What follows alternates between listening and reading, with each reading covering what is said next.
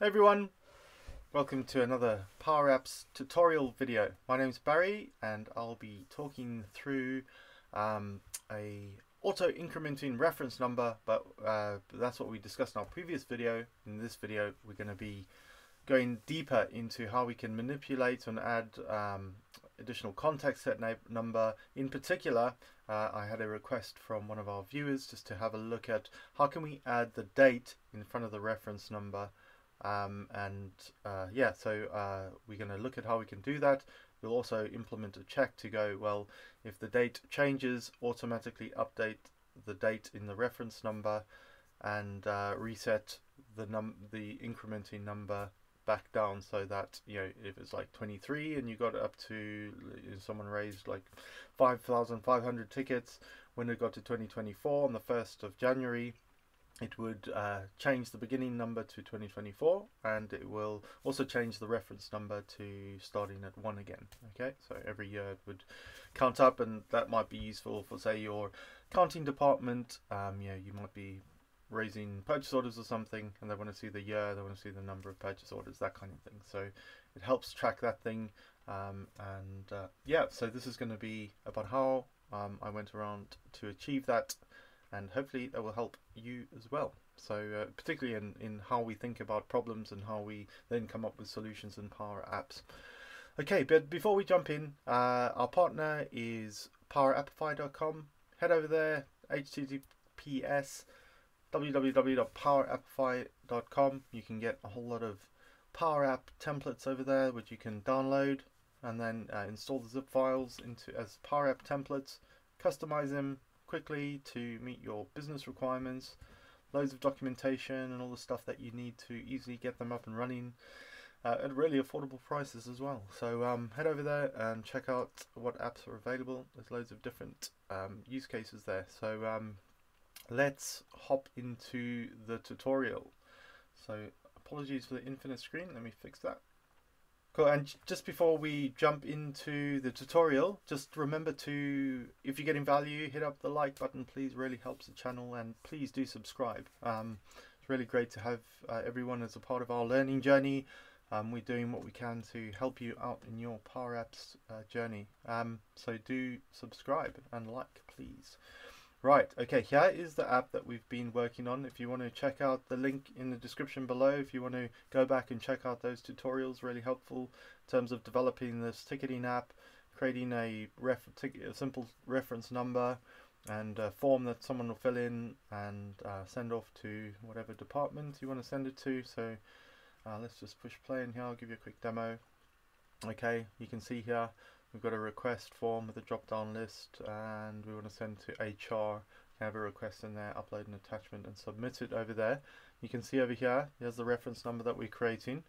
Um, so this is the new functionality. This is a really simple reference number, but this new functionality over here is um, adding the, the date in front of it and then adding uh, a number after the date which increments. You can see it increments by by one every time I click on the button. Okay, so um, seems like it's easy to do. Um, it is relatively straightforward, but it took a little bit of thinking around the best way to do it. And the thing that you'll learn with Power Apps is always lots of ways of achieving something, um, and you want to become more efficient at doing it over time. Um, so uh, know, just remember there's not only one way of doing something. There's lots of ways. Obviously, some ways are better than others, but um, yeah, that's what you'll learn as you go on. Okay, so you know, there's other ways of doing what I've done here, but I'm showing you the way that I've uh, done this to achieve the uh, requirement. Okay, so um, I'm going to um, just jump over to a version of this app before I'd made the changes and we can talk through what we're going to do. Okay, so I've opened up this app. Um, you can see we don't have the reference number, of the button down here. So uh, first thing I'm going to do is I'm going to add in a button. Okay, and we're going to put in the button over here. And we'll just update the label to say um, create reference um, number with yeah okay just to uh, at the size of 11 there we go. We'll just leave it like that for now. And I'll click on it to add the text. Now I was going to type it out but I think that might just take a little bit too long. So um, I'm just going to copy over the code and we can just talk through what it does. Okay. So on the button, the on select of the button, which means when the button's pushed, it's going to run this code. Okay, so so first of all, let me just quickly uh, summarize what, what's happening here. We, we've to generate this um, this ticket number over here. So I've got this SharePoint list. The, uh, it's got different uh, reference numbers for different apps. So each row is a different app, and this is the tracking ID for the app. So the one that we're doing here is SD underscore year. You can see I've added this column in here with the the current year date uh, in there, and then I've removed the uh, letters from the beginning of the reference number. So this is the one that's been used over on this side. This uh, third one here is the new one that we're going to create with the date in it. So that one you can see has got an SD at the front. This one doesn't have any. It will have the date at the front. Okay, so um, this is the SharePoint list. Uh, one thing I've learned is, you know, um, if you have a production one and you've got one SharePoint list for all your apps, if you make a mistake on one and it overwrites all the other values, then that might be an issue. So um, perhaps think about having a separate SharePoint list uh, for each app um, with the, the, tracking number for each app. Um, might save you some pain down the line, but uh, up to you. Cool. All right. So we've got in this new button over here, and we're going to talk through the um, coding behind the button that uh, helps us achieve what we want to do. So first of all, we set some global variables. So these are variables um, that are, it's, just remember, it's always easier to work with a variable than it is to type out these sort of long uh, um, functions within code. Uh, so where you can, set up a variable and then use the variable. Um, so, so I've set up two uh, new variables and when I put these uh, double quotes in here, it basically sets a null value, basically a blank value into that um, variable. So this I always start my variable names with var. So create a variable with a blank value called reference number with year, then create another one reference number without year. First of all set them to blank, we'll update those values later on. then I also want to set two variables, one with today's year. So um, to get today's year, so if I, I just create, there's a built-in function called today, if I just put today, it actually outputs this date here. You can see the 29th of the 10th and with the time. Um, that's the format of that um, today. When you just use the year, you can see it just extracts the year from that and you're left with just a year value. That's in a, um, a number format. I uh, I've just added value in there just to make sure it's a number, and I don't I, I, just because I didn't want it to ever be a date format, which could um, lead to issues down the line. So I don't think you actually needed to put the value in, but you know if you ever want to change the like the format of something to a number, which is a value, or a text, which is text, I could put text in front of it, then you can just put value or text. That takes it from a date format to a number format, or if you put text instead of value, then that would like um, if I put text there uh, that would have replaced that as a text value okay? But um, I want to keep it number value and I did the same with this one over here. So in this one I'm storing the current year uh, sorry the stored year. So that's this year that's in my tracker over here. And I am doing a lookup to go go have a look in that SharePoint list called tracking number where find the row where uh, track ID is equal to SD underscore year. It's like going to be this row over here. And then return me the value that's in the year column and then store it in this variable. So that's going to be um, 2023 because that's the year in there. If I had 1970 in there, then that would be 1970. Okay, so now I've got these variables set up. I'm going to use them later on. Now I'm going to, um, this little uh, bit of code over here what it does is it checks um, my stored year, so the date, the year that's in my SharePoint list, with today's year, so the date I get from today, if the stored year is less than today's year, then what it's going to do is show a notification saying that your invoicing ref or whatever ref your reference number, not invoicing necessarily, your reference number has been updated with the current year and your invoice num your uh, reference numbering, numbering, reference numbering has been reset to 1001. Now, the reason I put a 1 at the front here is because if it starts at 0, it just um, it removes all the zeros and just starts at 1. Well, I want to keep it as um, uh, 5 digits, so I'm putting a 1 at the front. Whoever's using it will know there's always it always starts at 1001. That will be the, the first issued reference number for a given year. And then notification warning type is 4000. I'll show you this in action. So it's basically doing an if statement, checking the years. If the year stored is uh, less than today's year, send out a notification that is going to be updated. And then the next one, update if, is, is basically uh, similar to patch, but it, if something's already there, it looks for that row, it does a comparison, and if if uh, if it's uh, the logic works out, then it updates that uh, row. So let's have a look at this. Update if we update if our tracking number SharePoint list. We're having a look where the track ID is equal to S, uh, uh, so this row over here. And it's going to go and, so where that track ID is SD year, and if var stored key is less than var today's year.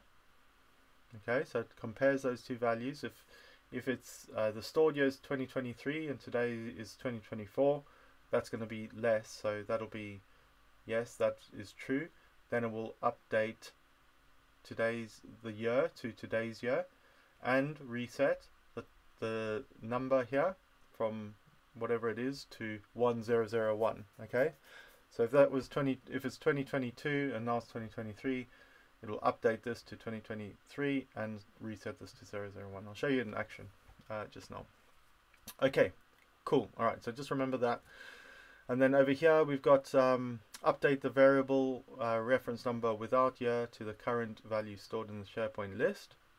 Okay, because we want to um, uh, use this down here. We uh, we want to share uh, update that with the so reference number without year. We want to get this number over here just and store it into a variable. And then we want to um, take that year and concatenate it with today's year. Okay, so we're going to take this out, we're going to get today's um, year, and we're going to make the reference number using concatenate. What concatenate does is it takes any uh, numbers and it brings them together.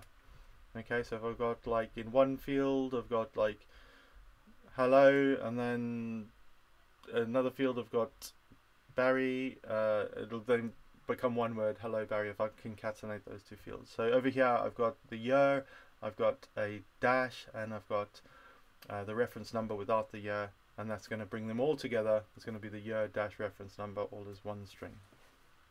Cool. All right, and then uh, it's going to go back in and it's going to uh, update just this number to the next one up so that when I uh, create another one it's going to read that number and it's going to be one uh, plus one than it was on the previous number.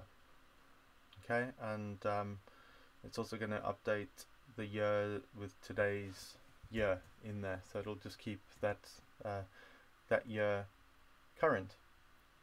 Okay, so um, hopefully that makes sense. It's basically just keeping these up to date, adding one on here, keeping the year up to date. If when it reads this, first of all, and it is one less than today's year, then it will reset this number to uh, to one again. Okay, so that it starts again. I'll show you it in action, just so that you can see how it works. Okay, so we've got that reference number. We first need to add in a new um, label, text label over here for our new reference number with the year.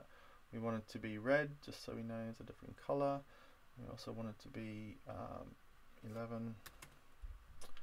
And we want it to be uh, var reference number with year. So just whatever the values in there. Cool, so that's what we want the value to be. There's nothing in here. We're going to play it and we're going to see how it works. Okay, let's just have it checked on here. You can see it's on 26 and the year is 2023. Let's create it.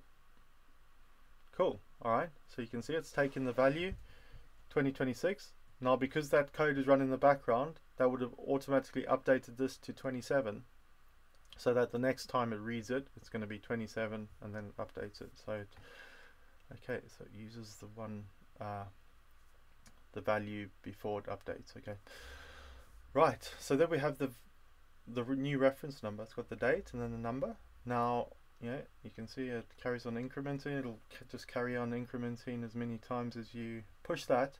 So let's say the date changes. Okay, I'm going to pretend now, um, you know, it's 20 let me just go in here and edit. Let's pretend it's 2022, December was the last time it created, just, yeah, the, the last day of December 2022. It's now the 1st of January. Let's pretend it's the 1st of January and the date's changed to 2023. So let's, we know it's 2023 already, but um, yeah, uh, this is what would happen on the 1st of January. Come in and we create a new reference number and it hasn't worked for some reason. Just one second while I go in and troubleshoot.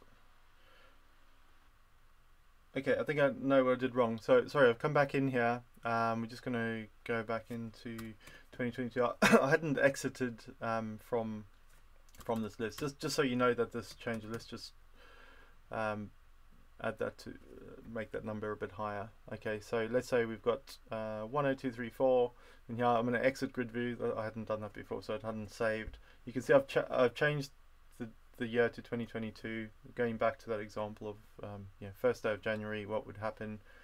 Um, I, I, need to just come in here and refresh this. Uh, I would do this in the button, so you won't need to do this when you're running the app, just to make sure it works. So um, now watch for the, the change here. I'm going to go back in and play it. Okay, so here we go. Um, your reference number has been updated with the current year. So it's, it's, it's noted that the year has changed from 2022 to 2023. Let's put that down to um, 1001. Okay, and then we'll keep counting up. Okay, until it gets to the the first day of the next year and it'll do the same thing it'll come 2024 so it's self-managing self-updating and that's how you um, you get to uh, to work with a reference number that, that begins with the date. So hopefully you found that that useful that code. Uh, let me know um, if any of it didn't make sense and we can run through it in a bit more detail. But hopefully um, you know we, we used a number of functions there, so really useful ones. Excuse me. So uh, what was it? Uh, global variables. You know, um, learn those. Always useful, as well as uh, context variables. Uh, if statements always being used. Um, uh, update if really useful as well. Um, and then yeah, just the concatenate one as well, bringing things together and yeah, so if you've got other use cases for your reference number, hopefully you can use all the techniques and um, that we've uh, used to just generate these two um, numbers. Um, and uh, don't forget to smash up the likes if you found that useful. Otherwise, we'll catch you next week uh, with a new video. Speak to you then. Cheers, bye.